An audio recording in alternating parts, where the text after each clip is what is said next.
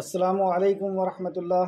الحمد للہ ان الحمد للہ نحمده ونستعینه ونستغفره ونعوذ باللہ من شرور انفسنا ومن سیئات اعمالنا۔ من يهده الله فلا مضل له ومن يضلل فلا هادي له۔ واشهد ان لا اله الا الله واشهد ان محمدا عبده ورسوله رب اشرح لي صدري ويسر لي امري ويسر لي امري ويسر لي امري وحل عقدة السانی لساني يفقهوا رب زدنی علما، رب زدنی علما، رب زدنی علم آمین یا رب العالمین. ہر قسم کی تعریف اور شکر اللہ رب العزت کے لیے لائق اور زیبا ہے، جو ساری کائنات کا ایک و تنہا خالق، مالک، مربی اور منتظم ہے۔ جو ساری کائنات کو وجود وجود بخشنے والا ہر مخلوق کی حفاظت کرنے والا اور ہر مخلوق کی ضرورتوں کا پورا کرنے والا ہے۔ اسی کے لیے ہر قسم کی تعریف اور شکر۔ درود و سلام ہو انبیاء اکرام پر، جنہیں انس اور جن کی رشد و ہدایت کے لیے مبوس فرمایا گیا، خصوصاً نبی مکرم رحمۃ للعالمین امام الانبیاء محمد صلی اللہ علیہ وسلم پر اور آپ کے اصحاب پر۔ معزز سامعین اکرام، آج ان شاء اللہ تعالیٰ سورہ نساء کی آیت نمبر 59 سے کلاس رہے گی۔ اللہ رب العزت سے دعا ہے کہ اللہ رب العزت ہمیں صحیح معنوں میں قرآن مقدس کو سمجھنے اس پہ غور و فکر کرنے ایمان لانے اور اخلاص کے ساتھ عمل کر کے لوگوں تک پہنچانے کی توفیق عطا فرمائے۔ اعوذ باللہ من الشیطان الرجیم۔ اے اللہ، ہم تیری پناہ میں آتے ہیں شیطان سے۔ اے اللہ، تو شیطان کے مکر و فریب سے ہمیں بچا لے کہ وہ تیرے دین سے ہمیں دور کر دے۔ بسم اللہ الرحمن الرحیم۔ اللہ کے نام سے جو رحمان اور رحیم ہے۔ اس عظیم کام کو ہم اللہ سبحانہ و تعالیٰ کے نام سے شروع کرتے ہیں، جو بڑا مہربان مہربان اور بار بار رحم فرمانے والا ہے۔ یا ایوہ الذین آمنو، اے وہ لوگو جو ایمان لائے ہو۔ لفظی ترجمے پہ غور کریں۔ لفظی ترجمے والا پارا نکال لیجیے۔ یا ایوہ الذین آمنو، اے وہ لوگو جو ایمان لائے ہو۔ اطیع اللہ، اطاعت کرو اللہ کی۔ و اطیع الرسول، اور اطاعت کرو رسول کی۔ و اول الامر منکم، اور اطاعت کرو اول الامر کی، جو صاحب اقتدار ہیں۔ فَإِن تنازعتم، پھر اگر تنازع ہو جائے یعنی کسی معاملے میں اختلاف ہو جائے، فی شعین کسی چیز میں فردو ہو اللہ تو پھر، پھیر دو اسے، ان اللہ طرف اللہ کی و رسولی اور رسول کی یعنی اللہ اور اس کے رسول کی طرف لوٹ جاؤ۔ ان کن تم اگر ہو تم تو تم ایمان رکھنے والے باللہ والیوم الآخر ایمان رکھنے والے ہو اللہ پر اور یوم آخرت پر۔ تو تمہیں کیا کرنا چاہیے کہ جب بھی کوئی آپس میں اختلاف ہو، تو تم اس اختلاف کا حل اللہ کے کلام سے اور نبی کریم صلی اللہ علیہ وسلم کے فرمان سے کرا لو۔ اس کا کیا ہوگا؟ ظال کا خیر و احسن و تعویلا۔ یہ بہتر ہے اور زیادہ اچھا ہے انجام کے اعتبار سے۔ تو یہ بہتر فیصلہ ہے اور یہ بہت، اس کا انجام بہت اچھا ہوگا۔ یعنی یہی ایک راستہ ہے امت کے ایک ہونے کا۔ اگر وہ اپنی بات پر یا اپنی نفسانی خواہشات پر یا قبیلے پر کہ میرا قبیلہ ایسا کہتا ہے، میری خاندان ایسا کہتی ہے، میرا معاشرہ اور میرا دوست ایسا کہتا ہے، اس پر وہ اڑا رہے گا تو ہر انسان کا اپنا قبیلہ ہے، اپنے دوست ہیں، اپنی خواہش ہے۔ تو سب انسان اپنی اپنی خواہش، اپنے اپنے قبیلے اور اپنے اپنے معاشرے کے اعتبار سے الگ الگ ہو جائیں گے۔ یہ کبھی ایک نہیں ہو سکتے۔ اور ایک کس بنیاد پر ہوں گے؟ توحید اور رسالت کی بنیاد پر۔ کہ جب بندہ ایک رب کو جان لے گا کہ اس رب کی اطاعت اس کے لیے آسان ہو جائے گی۔ جب وہ رب کو جان لے گا کہ رب کے رسول کے اوپر رسول کی اطاعت اس کے لیے آسان ہو جائے گی۔ اور یہی ایک طریقہ ہے کہ سارا انسان ایک پلیٹ فارم پہ آ سکتا ہے۔ دو طریقہ طریقہ کیا ہے؟ اشہد اللہ الہ الا اللہ و اشد ان محمد رسول اللہ۔ کہ بندہ اس بات کی، کا اقرار کر لے، لا الہ کی کوئی عبادت کے لائق نہیں ہے۔ کوئی حرام اور حلال نہیں کر سکتا، سوائے اللہ رب العزت کے، کوئی اور بگڑی نہیں بنا سکتا، کوئی اور مصیبت کو دور نہیں کر سکتا، سوائے اللہ رب العزت کے، وہی عبادت کے لائق ہے۔ تو یہ ایک ایسی چیز ہے توحید کہ بندے کو ایک اللہ پر لے آتی ہے اور وہ ایک ہو جاتا ہے۔ ساری انسانیت ایک ہو سکتی ہے اسی توحید کی بنیاد پر۔ اور دوسرا محمد الرسول اللہ صلی اللہ علیہ وسلم کہ محمد صلی اللہ علیہ وسلم اللہ کے بندے اور اس کے رسول ہیں۔ یعنی آپ کی زبان مبارک سے جو کچھ بھی بات نکلتی ہے، وہ اللہ سبحانہ و تعالیٰ کی طرف سے نکلتی ہے۔ تو اللہ اور اللہ کے رسول کے حکم پر اگر ہم چلیں گے، تو ہی ہم ایک پلیٹ فارم پہ آ سکتے ہیں، ایک جماعت ہو سکتے ہیں۔ ہم ہمارے اندر اجتماعیت آ سکتی ہے، ہمارے اندر جو ہے ایکتا آ سکتی ہے۔ اس لیے اللہ نے فرمایا ذالک خیر خیر و احسن و تعویلا۔ یہ بہتر ہے اور زیادہ اچھا ہے انجام کے اعتبار سے۔ علم، کیا نہیں؟ ترا آپ نے دیکھا۔ الزینہ طرف ان کے جو یزمعون، انہم، بے شک وہ آمنو ایمان لائے۔ کیا آپ نے ان کے طرف نہیں دیکھا جو دعویٰ کرتے ہیں کہ ہم ایمان لائے بیما، اس پر جو ان ضلع نازل کیا گیا الہ کا طرف آپ کی۔ مطلب ان کا یہ دعویٰ ہے کہ جو آپ کی طرف نازل کیا گیا، ہم نے اس پر ایمان لائے۔ لیکن اس کا تقاضا پورا نہیں۔ ہے اور یہ کیا کرتے ہیں؟ کیسے پہچانے گئے؟ وما، اور جو ان ضلع نازل کیا گیا من قبل کا آپ سے پہلے۔ مطلب آپ کی طرف جو نازل ہوا اور آپ کے پہلے جو نازل ہوا، ہم سب اس پہ ایمان رکھتے ہیں۔ یریدونا وہ چاہتے ہیں، یتحاکمو، وہ فیصلہ لے جائیں الت تاغوت طرف تاغوت کے، جبکہ وہ فیصلہ تاغوت کی طرف لے کر کے جائیں وقت، حالانکہ حالانکہ تحقیق او میرو وہ حکم دیے گئے تھے۔ ان کو امر تھا، اللہ کی طرف سے حکم تھا، ان کے یکفرو وہ کفر کریں، وہ کفر کریں بے ہی اس کا۔ یعنی تاغوت کا وہ کفر کریں، تاغوت کا انکار کریں۔ اللہ کے علاوہ کہیں اور سے فیصلہ کرانے کا انکار کریں۔ وَيُرِدُ اور وہ چاہتے ہیں۔ الشیطانو، وہ شیطان، ان کے یُزِلَّهُمْ وہ گمراہ کر دے انہیں۔ زلالم، گمراہ کرنا، بعیدہ، دور کا۔ تو شیطان انہیں گمراہ کر دے گا اور وہ دور کا گمراہ کرنا ہے یعنی دور، بہت دور لے جا لے گا۔ وہ ایزا اور جب قیلا کہا جاتا ہے لہم انہیں تعالو، آؤ علما طرف، اس کے جو انزلہ نازل کیا، اللہ اللہ نے۔ اور جب ان سے کہا جاتا ہے، جب جیسے آپس میں کوئی اختلاف ہو جاتا ہے، تو اس اختلاف کے، اس جھگڑے کے حل کے لیے جب ان سے کہا جاتا ہے کہ آؤ اس کے طرف جو اللہ نے نازل کیا۔ یعنی قرآن و حدیث کے طرف آؤ وہاں سے فیصلہ لیتے ہیں۔ وہ الر رسولی اور طرف رسول کی۔ رعایتا آپ دیکھیں انہیں۔ منافقینہ منافقوں کو۔ یعنی یہ مومنوں کی صفت نہیں ہے، یہ منافق کی صفت ہے۔ یسدونا وہ روکتے ہیں ان کا آپ سے سدودا رک جانا۔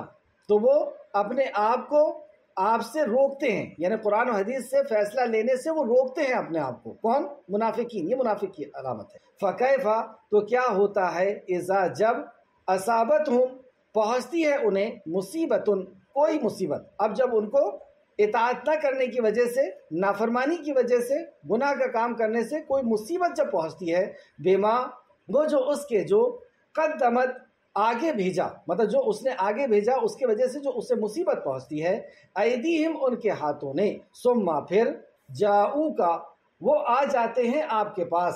یہ لفونا قسمیں کھاتے ہوئے، حلف لیتے ہوئے۔ باللہ اللہ کی ان نہیں، اردنا، ارادہ کیا ہم نے اللہ مگر احسان احسان کا احسان و توفیقہ اور موافقت کا۔ اولائکا یہی لوگ ہیں الزینہ وہ جو یعلمو، جانتا ہے اللہ اللہ ان کو معافی قلوبہم، ان کے دلوں میں جو ہے۔ یعنی جب وہ نافرمانی کرتے ہیں اور کوئی تکلیف آتی ہے تو آپ کے پاس آ کے قسمیں کھاتے ہیں کہ ہمارا مقصد یہ نہیں تھا۔ تو اللہ سبحانہ تعالیٰ نے فرمایا کہ ہم جانتے ہیں کہ ان کے دلوں کے اندر کیا ہے۔ بس آپ اعراض کریں ان سے، انہم ان سے۔ یعنی آپ ان کو درگزر کریں، جانے دیں۔ وَإِذْهُمْ اور نصیحت کیجیے۔ وقل اور کہہ دیجیے، لہم انہیں فی انفسہم، ان کے دلوں میں قولم بات بلیغا پہنچنے والی۔ مطلب ان سے درگزر کیجیے اور انہیں ایسی بات کہیے جو ان کے دل پہ اپیل کرے۔ نرمی کے ساتھ، ان کے ساتھ بات کیجیے یعنی ان کو اللہ کا پیغام پہنچائے۔ وما اور نہیں، ارسلنا، بھیجا ہم نے میں رسول، کوئی رسول اللہ مگر لے تاکہ وہ اطاعت کیے جائیں۔ بے عزن اللہ اللہ کے اذن سے۔ مطلب ہم نے جو بھی رسول بھیجا، اس لیے بھیجا کہ اللہ کے حکم سے ان کی اطاعت کی جائے۔ ولو اور اگر انہم بے شک وہ اس جب ظلم انہوں نے ظلم کیا۔ یعنی نبی کی اطاعت نہیں کی، انہوں نے ظلم کیا، نافرمانی کی۔ انفسہم اپنی نفسوں پر۔ نبی کی نافرمانی، یہ اپنی نفسوں پر ظلم ہے۔ جاؤ کا وہ آ جاتے آپ کے پاس۔ اگر ایسا ہو جاتا کہ ان سے کوئی گناہ ہو جاتا، انسان ہونے کے ناطے غلطی ہو جاتی ہے، تو ان کو کیا چاہیے تھا کہ وہ آپ کے پاس آ جاتے، اپنی غلطی کا اعتراف کرتے۔ جاؤ کا وہ آ جاتے آپ کے پاس۔ فستغفرو پھر وہ بخشش مانگتے کس سے؟ اللہ اللہ سے۔ آپ کے پاس آتے اور بتا دیتے اور اللہ سے بخشش مانگتے۔ وسطرا اور بخشش مانگتے۔ لہم ان کے لیے اور رسول و رسول۔ مطلب وہ بھی اللہ سے بخشش مانگتے اور رسول بھی ان کے لیے بخشش مانگتے۔ ولا جادو البتہ وہ پاتے۔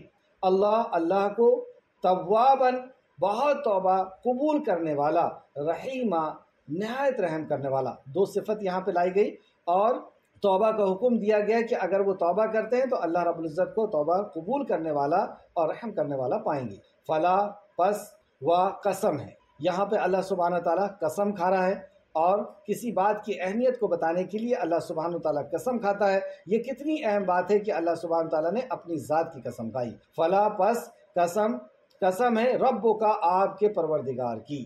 لا یؤمنون نہیں وہ مومن ہو سکتے۔ اللہ نے اپنی ذات کی قسم کھا کے فرمایا کہ وہ مومن نہیں ہو سکتے۔ حتیٰ یہاں تک کہ یو حق کے منہ کا وہ منصف بنا لے آپ کو۔ فیصلہ کرنے والا بنا لے آپ کو، فی ماں اس معاملے میں جو شجرا اختلاف ہوا۔ شجرا جس میں اختلاف ہوا، اس کے معاملے میں آپ کو فیصلہ کرنے والا نہ بنانے اللہ کی قسم وہ مومن نہیں ہو سکتے اختلاف ہوا۔ بینہم درمیان ان کے۔ سما پھر لا یجیدو نہ وہ پائیں۔ فی انفسہم، اپنی نفس میں۔ حرجم حرجم مما، کوئی تنگی اس سے جو مطلب جو آپ نے فیصلہ کیے ہیں، ان کے دل میں کوئی کجی اور کمی بھی نہ رہے۔ دل میں اللہ کے نبی کی بات کو، آپ کے حکم کو، آپ کی حدیث کو خوشی سے مان لیں، محبت کے ساتھ مان لیں۔ قضیتا، فیصلہ کریں آپ، جو آپ فیصلہ کریں۔ وَيُسَلِّمُ اور وہ تسلیم کر لیں۔ تسلیمہ پوری طرح تسلیم کرنا۔ مطلب دل کی گہرائی کے ساتھ، خوشی کے ساتھ، محبت کے ساتھ اس کو تسلیم کر دیں، اس کا اعلان کر دیں اور اس پہ عمل کر لیں۔ جب تک یہ مومن نہیں ہو سکتے۔ آئیے تفسیر کی طرف۔ آیت نمبر 59 یہ کل ہو چکا ہے۔ اس کا اعادہ کرتے ہیں۔ یا ایوہ الذین آمنوا اطیعوا اللہ و اطیعوا الرسول و اولی الامر منکم۔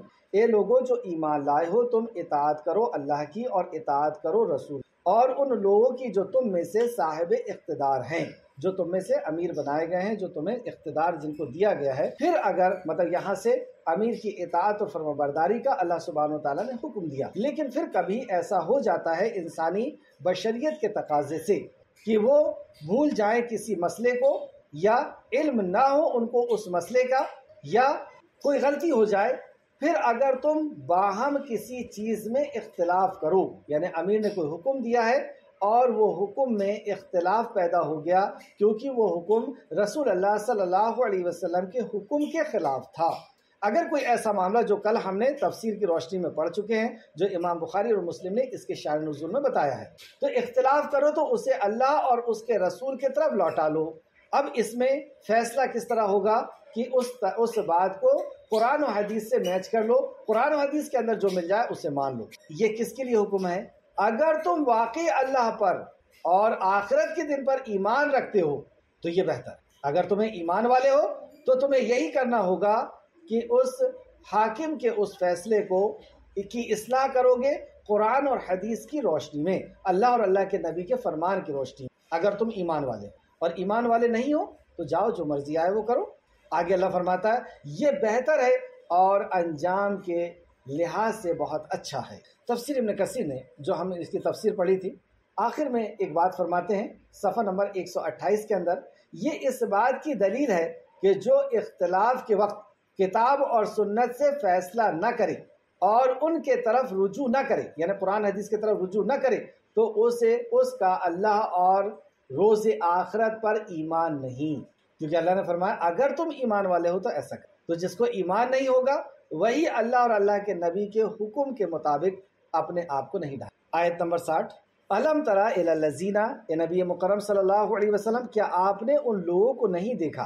دیکھیں، قرآن کو ہم سب سے پہلے اپنے لیے پڑھیں، کیونکہ اس میں ہمارا ہی ذکر ہے۔ اور سمجھیں کہ یہ صفت کہیں ہمارے اندر تو نہیں اور اگر ہمارے اندر ہے، تو توبہ کر کے اس کو ختم کرنے کی کوشش کریں، جو صفت منافقوں کی یا کافروں کی یا مشرقوں کی ہوتی ہے۔ اللہ سے دعا کریں اور اس کے اندر اپنی اصلاح کریں۔ اللہ رب العزت مجھے اور ہم سب کو توفیق عطا فرمائے کہ ہمیں اللہ اور اللہ کے نبی کی نافرمانی سے اللہ ہم سب کو بچائے علم ترا الزینہ اے نبی، کیا آپ نے ان لوگوں کو نہیں دیکھا جو دعویٰ کرتے ہیں کہ بے شک وہ اس پر ایمان لائے ہیں جو آپ کے طرف نازل کیا گیا ہے اور اس پر بھی جو آپ سے پہلے نازل کیا گیا۔ یعنی یہ ان کا دعویٰ ہے۔ اور ہم سب اپنے آپ کو دیکھیں کہ کیا واقعی ہمارا یہ دعویٰ نہیں ہے؟ کہ ہم ایمان لائے ہیں اللہ پر اور آخرت کے دن پر۔ اب اللہ رب العزت نے کسوٹی بتایا یہ دعویٰ ہے ان کا اور حقیقت میں یہ نہیں ہے۔ کیوں نہیں ہے؟ وہ چاہتے ہیں کہ اپنے معاملات کا فیصلہ شیطانی چیلوں سے کرائے، تاغوت سے کرائے۔ تاغوت، یہ ہر شرک کے لیے کہا گیا ہے یہ لفظ۔ تو حلال و حرام کا فیصلہ اللہ رب العزت کے علاوہ کسی اور سے اگر ہم کراتے ہیں اور اس پہ مطمئن ہو جاتے ہیں اتخذو احبارہم اور احبانہم اربابا من دون اللہ، کہ تم نے اپنے عالموں اور درویشوں کو الہ بنا لیا تھا۔ سورہ توبہ آیت نمبر اکتیس۔ تو عدی بن حاتم نے کہا، یا رسول اللہ، ہم ان کی عبادت نہیں کرتے تھے، کیونکہ یہ پہلے عیسائی تھے۔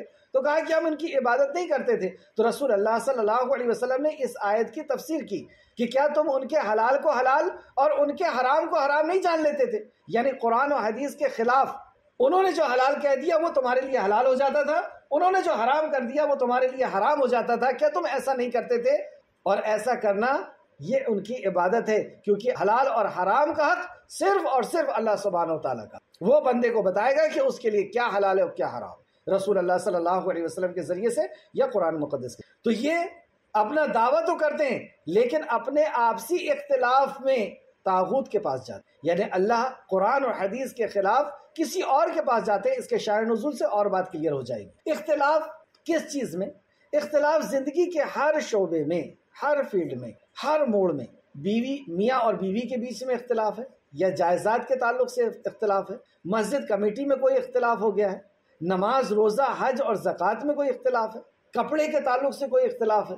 پینے اور کھانے کے تعلق سے کوئی اختلاف ہے؟ کسی بھی قسم کا کوئی اختلاف ہے اور جب ان سے کہا جاتا ہے، آؤ اللہ اور اس کے رسول کی طرف۔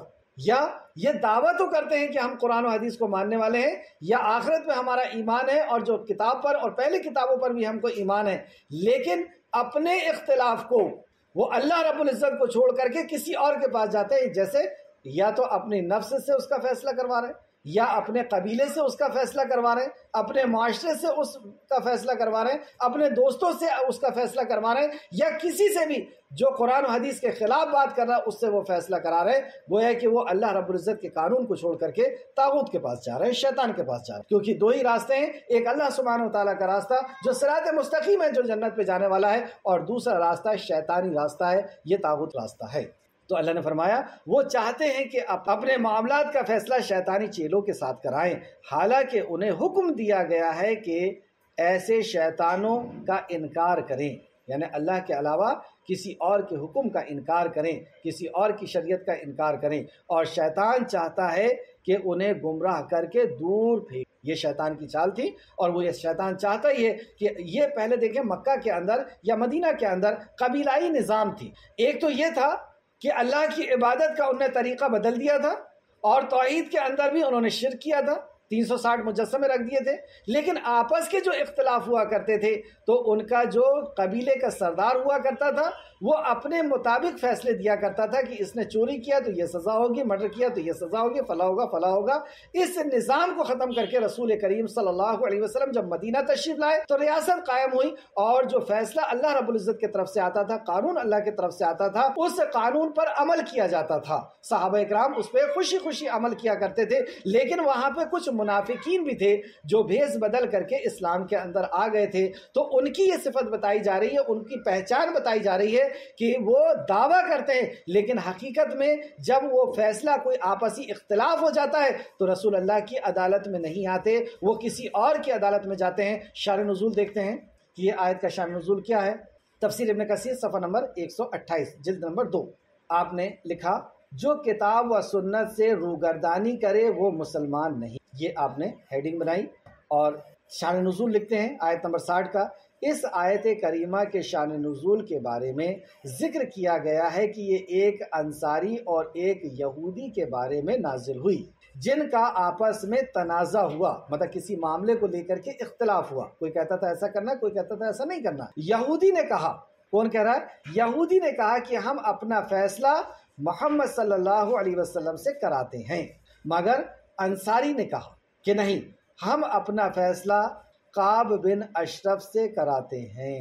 اب بتائیں، رسول اللہ صلی اللہ علیہ وسلم کی ہستی موجود ہے، آپ کے اوپر وہی نازل ہو رہی ہے، آپ کے پاس اللہ کی وہی کا علم ہے، لیکن اس کے بعد بھی یہ انصاری کیا کہتا ہے کہ ہم قاب بن اشرف سے فیصلہ کراتے ہیں۔ تفسیر التبری کے حوالے سے تفسیر ابن کثیر نے ذکر کیا، جلد نمبر فائیو صفحہ نمبر دو سو گیارہ، دو سو تیرہ۔ یہ بھی کہا گیا ہے کہ یہ آیت کریمہ منافق کی جماعت کے بارے میں نازل ہوئی ہے، کیونکہ جنہوں نے اظہار تو اسلام کا کیا تھا، مگر وہ اپنے فیصلے حکام جاہلیت سے کراتے تھے۔ مطلب وہ جو جاہلیت کے دور کے حکمران تھے، ان سے یا حکام تھے، ان سے یہ فیصلہ کراتے تھے۔ واضح بات یعنی اللہ کی شریعت انہیں منظور نہیں تھی، وہ کسی اور سے اس کا فیصلہ کرایا کرتے تھے۔ آج رسول اللہ صلی اللہ علیہ وسلم نہیں ہے تو ہم فیصلہ کس کے پاس لے جائیں گے؟ تو ظاہر سی بات ہے کہ رسول اللہ صلی اللہ علیہ وسلم کی تعلیمات قیامت تک کے لیے اللہ سبحانہ و تعالیٰ نے محفوظ کر دی۔ اللہ نے فرمایا نحن نزلنا الذکر و ان له لحافظون، کہ ہم نے اس ذکر کو نازل کیا ہے اور ہم ہی اس کی حفاظت کریں گے۔ اور اس کے اندر جو حکم ہے اطیع اللہ و اطیع الرسول، اللہ کی اطاعت کرو، اللہ کے رسول کی، تو اس کی بھی حفاظت اللہ سبحانہ و تعالیٰ نے کر لی ہے قیامت تک۔ تو ہمیں چاہیے کہ جو بھی ہمارا آپس کا کا اختلاف ہے، گھر کے اندر کا اختلاف ہے، ہماری دکان کا کہیں کا بھی اختلاف ہے، مسجد میں اختلاف ہے، کسی بھی عمل کے اندر اختلاف ہے، تو وہاں پہ ہم قرآن و حدیث سے دیکھیں کہ اس کا حل کیا بتایا ہے اللہ نے اور رسول اللہ صلی اللہ علیہ وسلم نے۔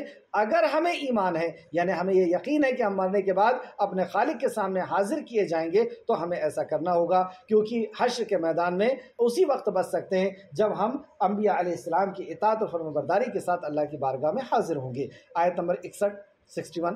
اور جب ان سے کہا جاتا ہے کہ آؤ، اس کے طرف جو اللہ نے نازل کیا یعنی جب ان کا آپس میں اختلاف ہو جاتا ہے کسی بھی معاملے میں، جیسے ہمارے بیچ میں بہت سارے اختلاف ہیں، اور اسلام کے ہر عمل کے اوپر غالباً تقریباً تقریباً لوگوں نے اختلاف کیا سوائے موت کے۔ آپ دیکھیں، نبی کریم صلی اللہ علیہ وسلم کے تعلق سے یا آپ کی تعلیمات کے تعلق سے نماز، روزہ، ہر کسی میں اختلاف کر دیا ہے۔ اب ہم کیا کریں؟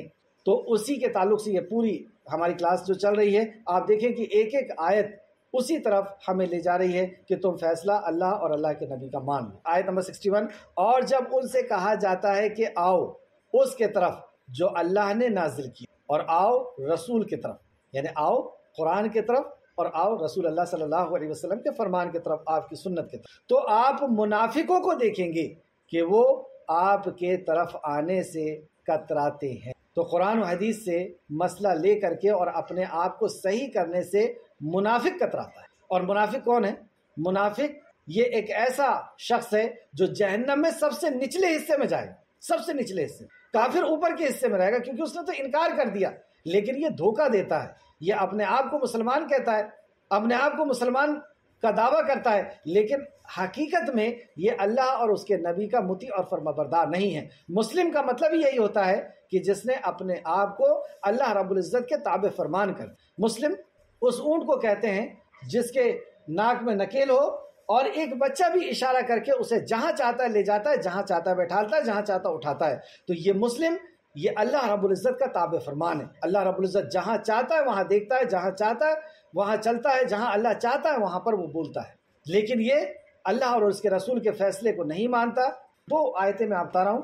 ایک آیت مومن کی صفت میں اور ایک منافق کی سورہ لقمان آیت نمبر اکیس میں اللہ نے فرمایا، اور جب ان سے کہا جاتا ہے کہ جو کتاب اللہ نے نازل فرمائی ہے، اس کی پیروی کرو، تو کہتے ہیں کہ ہم تو اس کی پیروی کریں گے، جس پر ہم نے اپنے باپ دادا کو پایا۔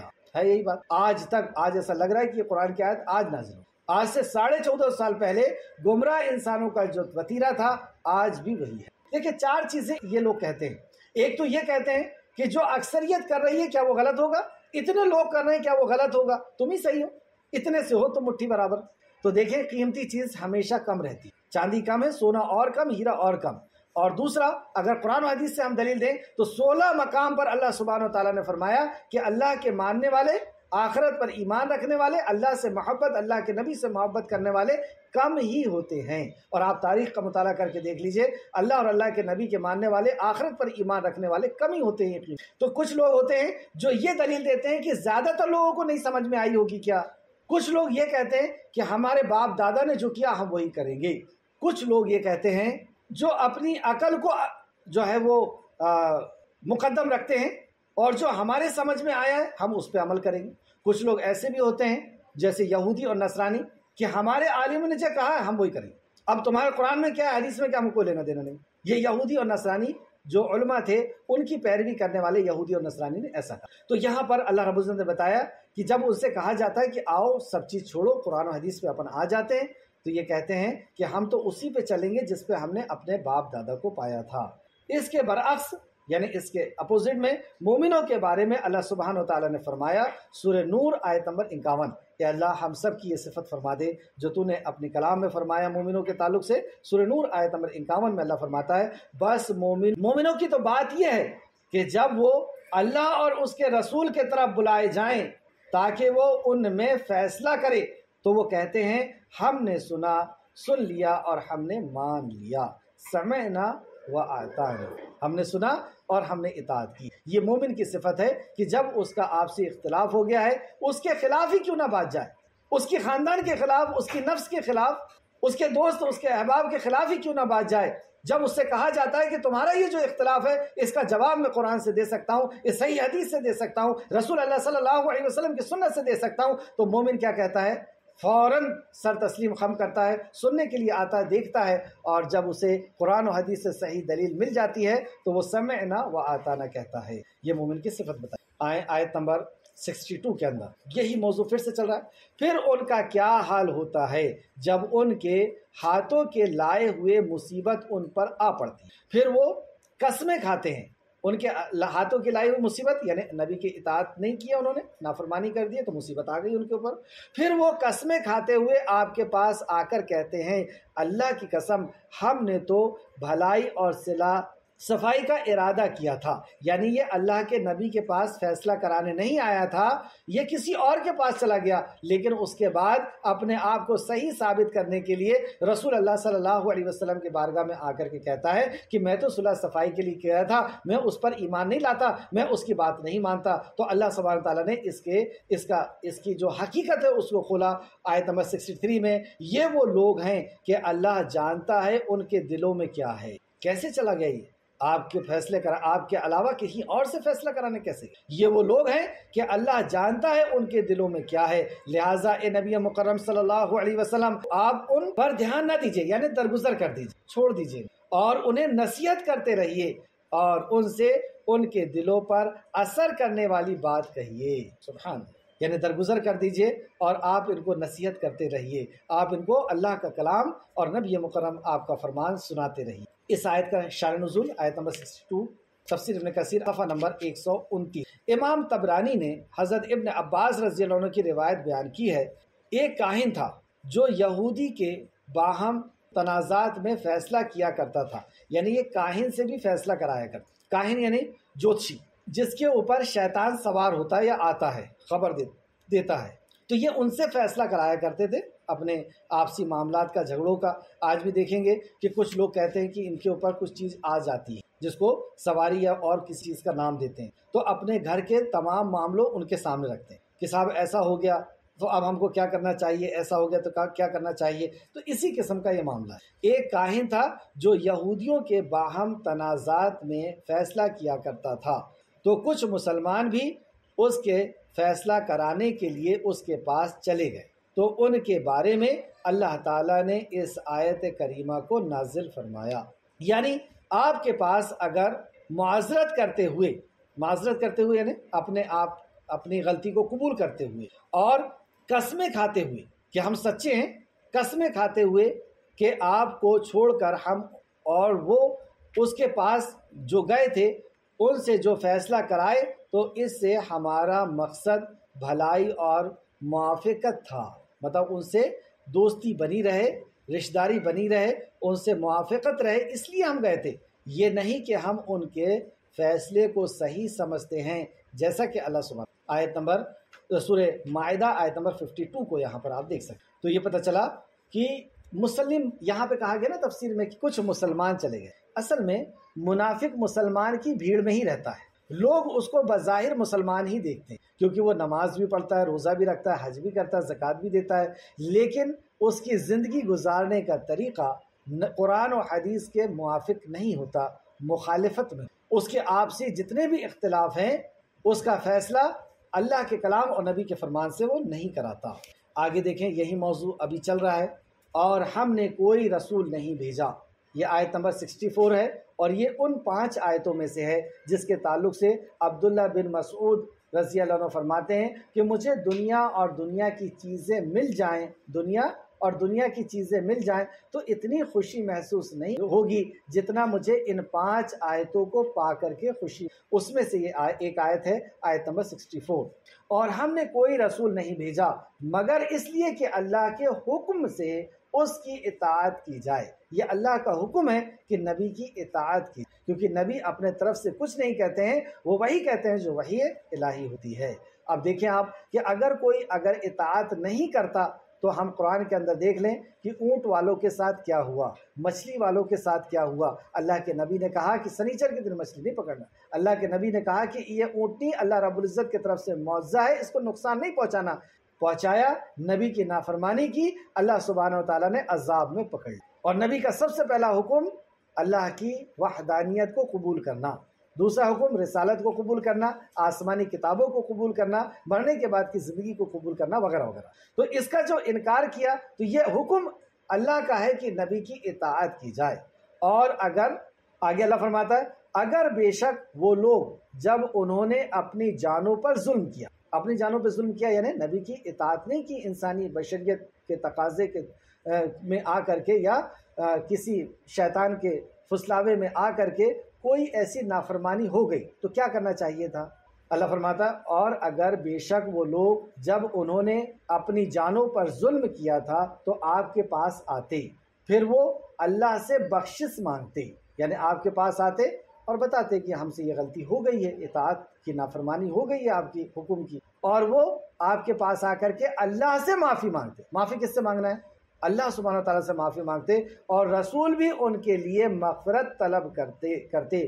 تو وہ یقیناً اللہ کو بہت توبہ قبول کرنے والا اور نہایت رحم کرنے والا پاتے آیت نمبر 65 فلا و رب کا چنانچہ اے نبی مکرم صلی اللہ علیہ وسلم، آپ کے رب کی قسم اللہ سبحانہ تعالیٰ کسی بات کی اہمیت کو بتانے کے لیے قسم کھاتا اور قسم ہوتی ہے تو جواب قسم بھی ہوتا ہے کہ قسم کس چیز کے لیے کھائی گئی۔ اور قسم اس بات کی علامت ہے کہ اللہ سبحانہ و تعالیٰ ہم سے محبت کرتا ہے کہ ہمیں یقین دلانے کے لیے اس نے کلام نازل کر دیا تھا، بہت بڑی بات تھی۔ اس کے نبی کے ذریعے سے پیغام پہنچا دیا، بہت بڑا احسان تھا۔ لیکن اللہ سبحانہ و تعالیٰ اپنے بندے سے ایسی محبت کرتا ہے کہ اس کو یقین دلانے کے لیے قسم کھا رہا ہے۔ اور جتنی اہم بات ہوتی ہے، اتنی اہم قسم ہوتی ہے۔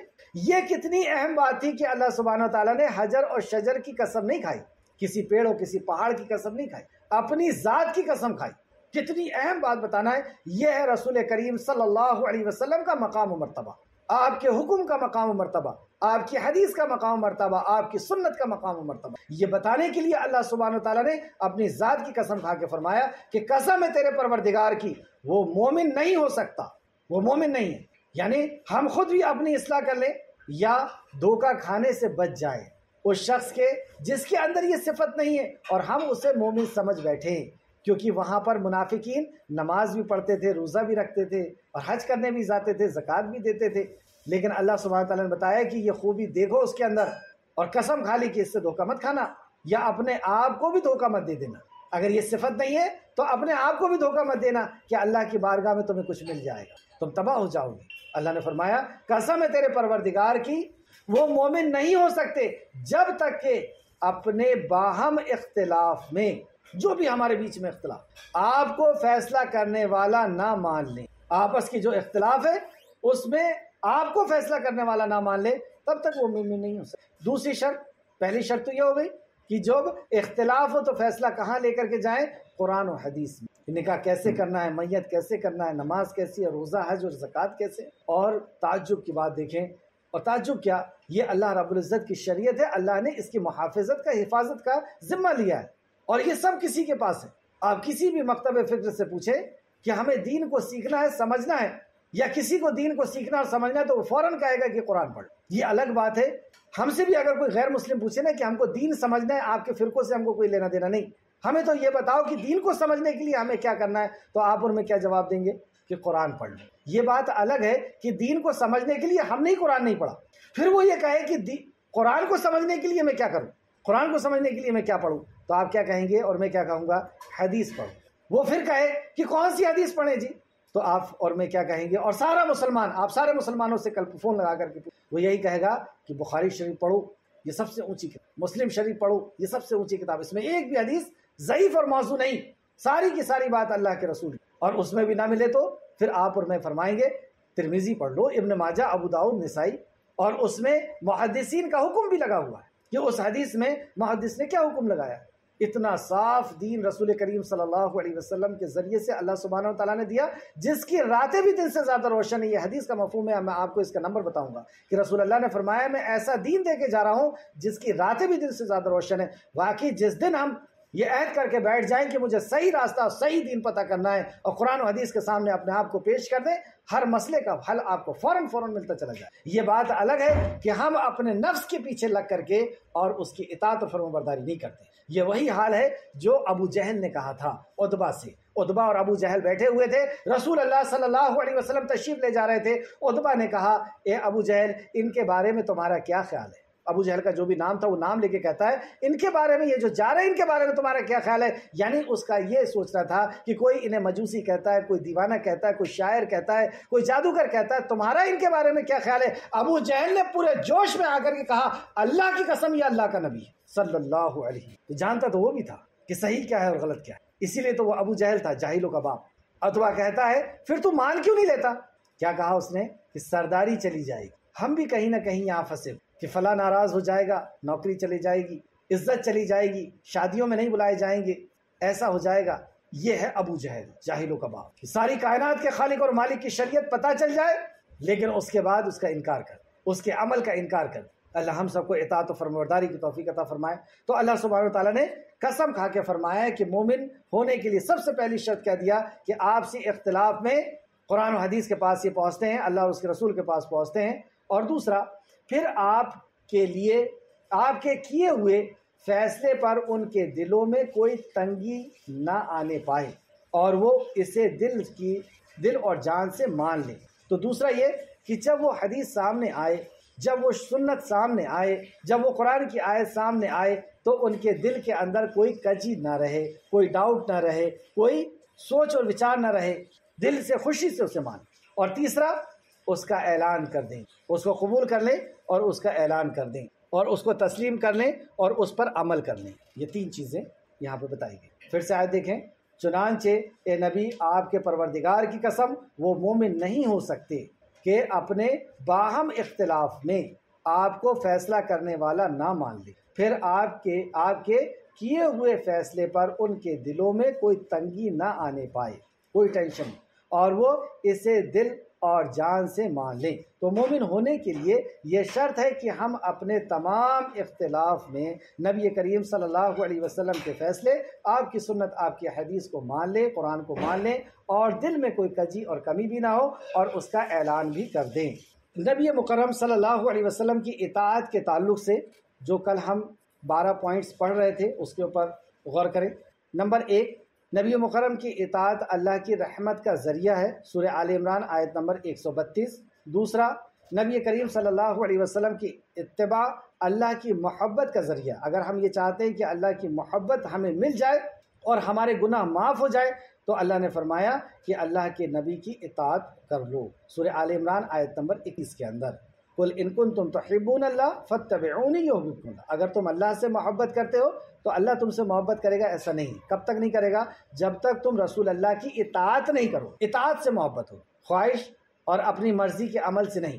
کہ کوئی خواہش کرے کہ میں اللہ سے محبت کرتا ہوں، اللہ بھی مجھ سے محبت کرے، آرزو کرے، تمنا کرے، یا اپنی مرضی کے عمل کرے کہ اللہ مجھ سے محبت کرنے لگے گا، کچھ نہیں چلے گا۔ اللہ نے فرمایا کہ نبی کی اطاعت کرو گے تو اللہ تم سے محبت کرے گا اور تمہارے گناہ کو بخشے گا۔ اگر ہم یہ چاہتے ہیں کہ ہمارے گناہ بخش دیے جائیں تو ہمیں نبی کی اطاعت پہ آنا ہوگا۔ تیسرا نبی مکرم صلی اللہ علیہ وسلم ہدایت کا ذریعہ ہم سب یہ چاہتے ہیں نا کہ ہمیں ہدایت مل جائے۔ اللہ نے شرط لگا دی کہ تم اگر نبی کی اطاعت کا رسول نور آیت نمبر 54 اگر تم اس پیغمبر صلی اللہ علیہ وسلم کی اطاعت کرو گے تو ہدایت پا جاؤ گے۔ ہدایت کے لیے شرط لگا چوتھا، نبی مکرم کی اتباع عظیم کامیابی کا ذریعہ ہے۔ یعنی فلاح اور کامیابی کا ذریعہ، سکسیس ہونے کا ذریعہ ہے۔ سورہ احزاب آیت نمبر اکہتر، سورہ نور آیت نمبر انکاون۔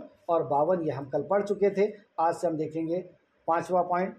نبی کی اطاعت، اتباع جنت میں داخلے کا ذریعہ ہے۔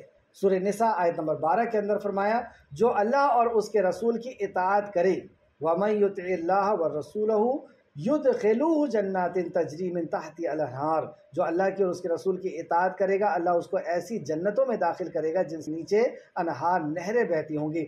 خالدین فیہا، وہ اس میں ہمیشہ ہمیش رہیں گی۔ ذالک الفوز العظیم، اور یہ ہے اصل میں کامیاب اور یہ بہت بڑی کامیابی ہے۔ ایک حدیث دیکھتے ہیں۔ حضرت ابو حریر رضی اللہ عنہ سے مروی ہے۔ روایت کرتے ہیں کہ رسول اللہ صلی اللہ علیہ وسلم نے فرمایا، میری ساری امت جنت میں داخل ہوگی، سوائے اس کے جس نے خود ہی انکار کر دیا۔ صحابہ نے عرض کیا، اے اللہ کے رسول، جنت میں داخلے سے کون انکار کر سکتا ہے؟ آپ صلی اللہ علیہ وسلم نے فرمایا، جس نے میری اطاعت کی، وہ جنت میں داخل ہوگا، اور جس نے میری نافرمانی کی، اس نے جنت میں جانے سے انکار کر دیا۔ بخاری شریف حدیث number seven two eight zero seven two eight zero یعنی جس نے اطاعت سے انکار کیا گویا کہ اس نے جنت میں جانے سے انکار کر اللہ۔ چھٹواں پوائنٹ نبی مکرم کی اتباع جنت میں نبیوں اور صدیق اور شہداء کی رفاقت کا ذریعہ۔ ہم میں سے کون نہیں چاہتا کہ ہم نبی کے ساتھ رہیں، صدیق کے ساتھ رہیں، شہداء کے ساتھ رہیں، صالحین کے ساتھ رہیں؟ تو اللہ سبحانہ تعالیٰ نے اس کے لیے بھی یہی بتایا، وَمَن يُتِعِ اللَّهَ وَالرَّسُولِ۔ جس نے اطاعت کی اللہ کی اور اللہ کے رسول کی، ساری اطاعتوں کو ختم کر دیا۔ اللہ اور اس کے رسول کی اطاعت کی تو وہ ہوگا نبیین کے ساتھ، صدیقین، شہداء اور صالحین کے ساتھ ہوگا اور اللہ فرماتا ہے کہ یہ کتنے ہی اچھے رفیق اور کتنے ہی اچھے ساتھی ساتواں پوائنٹ نبی مکرم کی اتباع اختلاف امت کے وقت نجات کا ذریعہ ہے۔ امت کے اندر جو اختلاف ہو رہا ہے، یہ اللہ اور اللہ کے نبی کی اطاعت سے ہی ختم ہو سکتا ہے۔ اس کے تعلق سے ایک حدیث سماعت فرمائے۔ رسول اللہ صلی اللہ علیہ وسلم نے، ایک صحابی رسول صلی اللہ علیہ وسلم نے وصیت کرنے کا نبی مکرم کو کہا کہ یا رسول اللہ مجھے میرے لیے وصیت کر دیں۔ تو آپ صلی اللہ علیہ وسلم نے فرمایا، بہت قیمتی حدیث ہے۔ ایک صحابی نے رسول اللہ سے کہا کہ یا رسول اللہ، میرے لیے وصیت کر دیجیے۔ تو رسول اللہ نے کیا وصیت فرمائی؟ میں تمہیں اللہ سے ڈرنے یعنی تقوی کی وصیت کرتا ہوں اور امیر کی بات ماننے کی وصیت۔ پہلا، تقوی، اللہ رب العزت کا ڈر۔ اور دوسرا امیر کی اتباع اور اس کی اطاعت، امیر کی اتباع اور اس کی اطاعت کرنے کی وصیت کرتا ہوں۔ خواہ وہ حبشی غلامی کیوں نہ ہو۔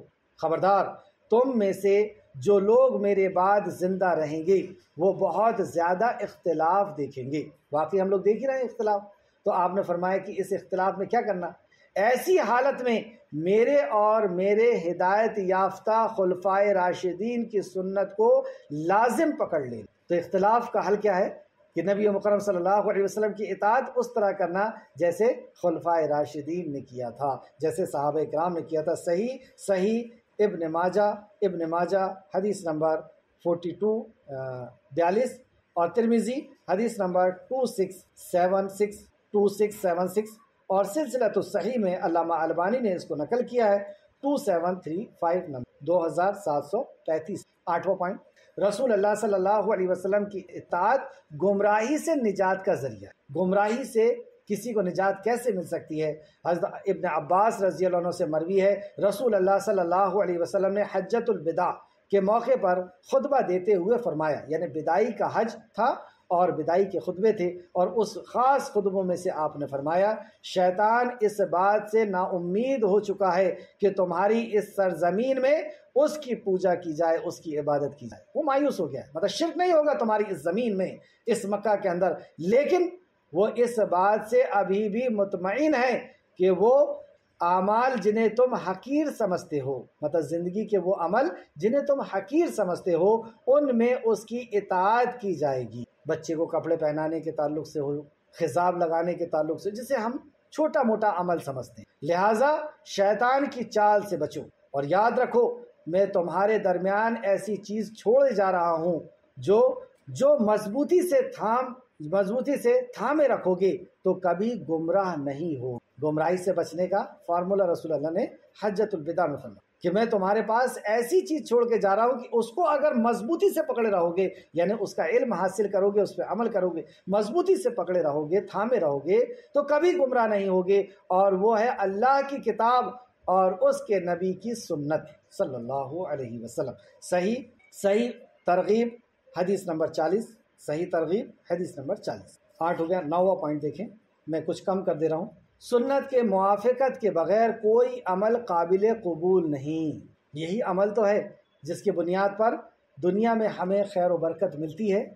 قبر کے اندر ہم بچ پائیں گے، حشر کے اندر ہم بچ پائیں گے اور اللہ رب العزت کی رحمت کے امیدوار ہو پائیں۔ گے کب؟ جب ہمارا عمل قبول ہوگا۔ اور عمل کی قبولیت کی تین شرائط ہیں ایمان اخلاص، ایمان کی موجودگی میں اخلاص کے ساتھ کیا گیا عمل؟ رسول اللہ صلی اللہ علیہ وسلم کی اطاعت اور فرما برداری سے کیا ہوا عمل۔ اگر نبی کی اطاعت نہیں ہے تو کوئی عمل قابل قبول نہیں۔ یہاں تک کہ دعا بھی قبول نہیں، یہاں تک کہ سنت کی موافقت۔ یعنی ہر عمل نبی کریم صلی اللہ علیہ وسلم کی سنت کے مطابق ہو۔ چنانچہ فرمان نبی صلی اللہ علیہ وسلم، فمن رغب عن سنتی فلیس منی جس نے میری سنت سے اعراض کیا وہ ہم میں سے نہیں۔ اس کا کوئی تعلق نہیں۔ اسلام سے مسلمان سے اس کا کوئی تعلق نہیں، جس نے نبی مکرم کی سنت سے اعراض کیا۔ بخاری شریف حدیث نمبر 5063 5063 اور مسلم شریف حدیث نمبر 1401 1401 بیچ میں سے ایک اور جگہ دیکھیں آپ، سورہ محمد آیت نمبر 33 میں اللہ نے فرمایا 33 میں عطی اللہ و عطی الرسول ولا تب طلوع اللہ کی اطاعت کرو، اللہ کے نبی کی اطاعت کرو اور اپنے عمل کو برباد مت کرو۔ یعنی وہ عمل جس میں اللہ اور اللہ کے نبی کے حکم کی مہر نہیں، وہ عمل قابل قبول نہیں، وہ برباد ہو جائے۔ اور بھی حدیثیں ہیں، اور بھی اس کے تعلق سے ہیں، لیکن وقت ابھی اجازت نہیں دے رہا۔ چلیں دسویں پوائنٹ کی طرف۔ سنت کے مقابلے میں کسی اور کی بات کو ترجیح دینا۔ نبی کریم صلی اللہ علیہ وسلم کی ناراضگی کا باعث ہے۔ مطلب سنت ہے ہمارے پاس۔ قرآن ہے ہمارے پاس، حدیث ہے ہمارے پاس، لیکن کسی اور بات کو ہم ترجیح دیں۔ قرآن حدیث کے اوپر کسی اور کی بات پر ہم عمل کریں۔ آخری بات یا گیارہویں بات، سنت چھوڑ کر کوئی اور طریقہ اپنانا اللہ کی نفرت کا باعث۔ سنت کو چھوڑ کر کے کوئی اور طریقہ ہم اپنا رہے ہیں۔ زندگی کے کسی بھی موڑ۔ تو یہ اللہ کی نفرت کا باعث۔ حضرت ابن عباس رضی اللہ عنہ سے مروی ہے۔ رسول اللہ صلی اللہ علیہ وسلم نے فرمایا تین آدمی اللہ کی نزدیک سب سے زیادہ قابل نفرت ہے اللہ۔ اللہ کے سامنے نفرت۔ اللہ کے لیے اللہ ان سے نفرت کرتا ہے۔ اللہ ہم سب کو تیری نفرت سے بچا لے۔ اللہ، ہم سب کو تیری نافرمانی سے بچا لے، تیری نفرت سے بچا لے۔ آپ نے فرمایا نمبر ایک، حرم میں زیادتی کرنے والا۔ حرم میں زیادتی کرنے والا۔ دوسرا، سنت چھوڑ کر جاہلیت کا طریقہ تلاش کرنے والا۔ سنت نبی چھوڑ کر کے جاہلیت کا طریقہ نہ کسی مسلمان کا ناحق خون کرنے کے لیے اس کے پیچھے لگ جانے والا۔ یہ بخاری شریف کی حدیث ہے۔ بخاری شریف حدیث number six double eight two, six double eight two. آخری پوائنٹ۔ ویسے وقت زیادہ ہو گیا لیکن اس کو لے لیتے ہیں۔ سنت کی اتباع واجب ہے، ضروری ہے۔ سورہ حشر آیت نمبر آٹھ میں اللہ نے فرمایا، اور تمہیں جو کچھ رسول دے اسے لے لو، اور جس سے روک دیں اس سے رک جاؤ۔ یعنی نہ ہم ایک لمحہ آگے کریں نہ پیچھے۔ جو رسول دیں اس سے لے لو اور جس سے روک دیں اس سے رک جاؤ اور اللہ تعالیٰ سے ڈرتے رہو۔ یقیناً اللہ تعالیٰ سخت عذاب والا ہے۔ انداز دیکھ رہے ہیں آپ بات کیسے؟ اور تمہیں جو چیز رسول دیں اسے لے لو اور جس سے روک دیں اسے رک جاؤ۔ اور اللہ تعالیٰ سے ڈرو۔ اگر تم ایسا نہیں کرتے تو تم ڈرو۔ یقیناً اللہ تعالیٰ سخت عذاب دینے والا۔ اگر ایسا نہیں کرتے تو عذاب کے لیے۔ سورہ آل عمران آیت نمبر بتیس کو یہاں پہ انہوں نے کوٹ کیا۔ کہ جس میں اللہ سبحانہ تعالیٰ نے اپنی ذات کی قسم کھا کر کے اور بیان فرما کہ قسم ہے تیرے پروردگار کہ وہ مومن ہی نہیں ہو سکتا۔ جو تیرے اپنے فیصلے اللہ نبی مکرم سے۔ سورہ نساء آیت نمبر 59 کو بھی انہوں نے کوٹ کیا وہ بھی آپ لکھ لیں۔ اور اسی طریقے سے سورہ احزاب آیت نمبر 36 کو بھی کوٹ کیا ہے۔ سورہ احزاب آیت نمبر 36 اور کسی مسلمان مرد اور عورت کو اللہ اور اس کے رسول کے فرمان کے بعد اپنے کسی امر کا کوئی اختیار باقی نہیں۔ مطلب مومن کو کوئی اختیار نہیں کہ اللہ کے نبی کی بات آ جانے کے بعد اپنی بات کو رکھے۔ یاد رکھو، اللہ تعالیٰ اور اس کے رسول کی جو بھی نافرمانی کرے گا، وہ سر گمراہی میں ہوگا۔ سورہ انفال آیت نمبر چوبیس میں اللہ فرماتا ہے، اے ایمان والو، تم اللہ اور رسول کی بات مان لو، جبکہ رسول تمہیں ایسی چیز کے طرف بلاتے ہیں جس میں تمہاری زندگی ہے۔ سبحان اللہ۔ رسول کس طرح بلاتے ہیں؟ اس میں تمہاری زندگی یعنی نبی کی اطاعت میں تمہاری زندگی حضرت ابو سعید خدری رضی اللہ عنہ کی ایک حدیث جو بخاری شریف کی ہے، بخاری شریف حدیث number double four seven four آخر میں اللہ رب العزت سے دعا ہے کہ خالق مالک، جو کچھ بھی ہم نے پڑھا، اس پہ ہمیں مجید غور و فکر کرنے کی تو توفیق و رفیق عطا فرما۔ جب تک ہمیں زندہ رکھ، ایمان اخلاص اور عمل صالح کے ساتھ زندہ رکھ، ہمارا خاتمہ خاتمہ بالخیر فرما اور نیک وکاروں کے ساتھ ہمارا شمار فرما دے۔ آمین۔ یا رب العالمین، اللہم صلی علی محمد وعلی آل محمد کما صلی تعالی ابراہیم وعلی آل ابراہیم، انکا حمید آمین۔ یا رب العالمین، السلام علیکم ورحمۃ اللہ وبرکاتہ۔